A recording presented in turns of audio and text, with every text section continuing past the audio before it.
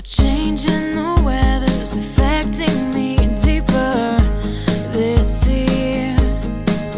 It's another reminder that time is passing by. Am I doing the right things, pursuing the right dreams? I'll go for a as I take in the.